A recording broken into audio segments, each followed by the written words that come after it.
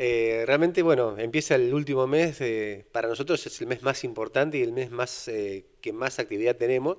porque no solamente tenemos el evento de acercarte, que como bien decías en la introducción,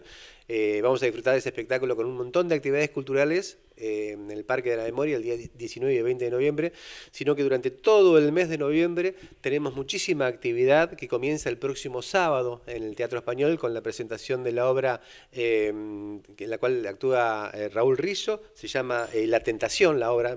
son tantos nombres, viste, que por ahí se me pasa un poco, La Tentación con Raúl Rizzo, y bueno, es, un, es una, el comienzo del mes con todos estos espectáculos, y después el fin de semana siguiente, el viernes siguiente, en el teatro tenemos la presentación de la banda del servicio penitenciario, y ya después saltamos a lo que es eh, el cierre del taller eh, municipal, de la actividad de teatro que estuvimos desarrollando durante todo el año. Eso es lo que respecta al teatro. Y después, el fin de semana siguiente, ya estamos en el 20, tenemos la presentación de Gilla, el musical, con Fabián Gianola, Karina K, Tomás Fonsi, Patricio Contreras, que esto ya pertenece a lo que es el programa Acercarte. Y el día domingo tenemos la, puesta en escena de la obra Filomena Marturano con Claudia Lapacó y eh, se me fue otro nombre. Bueno, eh, para disfrutarlo acá en el teatro. Y después, por supuesto, nosotros tenemos ahora el también programado para el 10 de noviembre de la tradición, el acto central que vamos a hacer en el Monumento al Gaucho, como todos los años, con la, presentación de ofrendas florales, eh, la parada de los centros tradicionalistas que están siendo convocados, más eh, ese día la presentación de Jaime Torres, el famoso charanguista argentino, que va a estar presente en nuestra ciudad, en Plaza San Martín, a partir de las 6 de la tarde, con un espectáculo realmente para aquellos que les gusta el buen folclore, puedan disfrutarlo con nosotros. Y después, por supuesto, toda la actividad programada para acercarte, que tiene que ver con la presentación del Chaqueño Palavecino, el día 19, la Soledad, la Sole el día 20 de noviembre. Y bueno, tenemos muchísima actividad y después, por último, sobre fin de mes, el cierre de los talleres municipales, la otra, la otra parte que tiene que ver con la parte de música y danza. Es decir, tenemos un mes bastante cargadito de actividades para realmente celebrar estos 240 años eh, de la Fundación de Magdalena.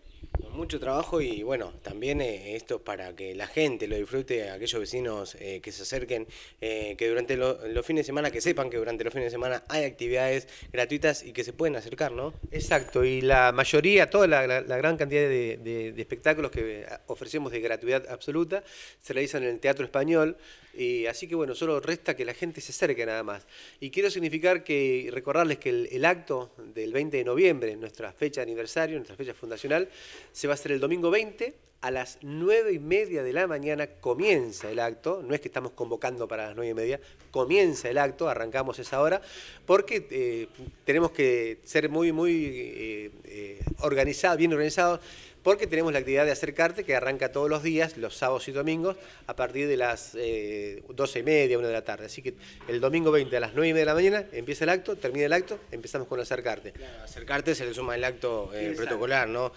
Seguramente ya han dialogado con las diferentes instituciones para que estén presentes, eh, ya sea en, lo que es el desfile y también asimismo para participar en el acercarte. Exacto, tal cual. Hemos mantenido reuniones la semana pasada con las instituciones de Magdalena y hoy con las escuelas, con las instituciones educativas, para coordinar algunos detalles de organización con respecto al 20 de noviembre, y bueno, y en pos de eso ya estamos trabajando. Y con respecto al acercarte, ya las organizaciones de las cooperadoras, más eh, las instituciones por, su lado también,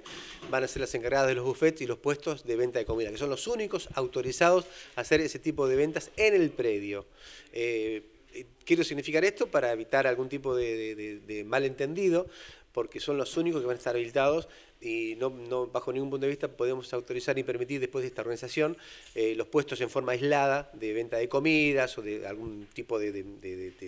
eh, helados o algo de eso, por ejemplo. Qué importante la participación y quiero hacer un punto de, lo que son las escuelas para recaudar fondos en esta fecha tan importante también, que bueno, siempre por ahí la buscan de alguna otra manera y bueno, tener la posibilidad de que por parte del municipio le den la del municipio solo no, sino también del acercarte, eh, que le den la posibilidad de que recauden algunos, algunos mangos, por así decirlo, ¿no? Sí, sí, tal cual, es verdad. Eh, esta, esta, esta posibilidad, esta actividad, este evento que no estaba previsto en ningún calendario, es muy bueno dado que le permite a las instituciones contar con un ingreso extra y entendemos que dada la magnitud del evento y la cantidad de personas que van a llegar, va a ser una buena jornada para que bueno, tengan unos buenos, una buena recaudación y además pueden afrontar los gastos que tienen las instituciones durante el año.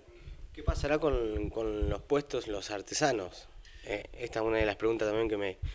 me, surgió recién porque, bueno, dialogando recién un poco, charlando sobre las cuestiones de que las escuelas van a estar, también obviamente están los artesanos. Sí, sí, por supuesto, estamos invitando a todos los artesanos a que estén junto a nosotros, ya les hemos reservado un puesto para que ellos estén armando sus puestos y vendan sus artesanías. Y quiero también significar que son únicamente los artesanos del partido de Magdalena nada más. Nos han llamado de distintos puntos de la provincia, de distintas localidades, para acercarse en esa, en esa oportunidad y nosotros hemos declinado de ofrecerles el espacio y vamos a, primar porque estén nuestros artesanos ofreciendo sus productos. Y bueno, esperemos que se haya un, haga un lindo clima, un lindo buenos días, lindos días y después, bueno, que sea de como uno tiene previsto la organización, ¿no?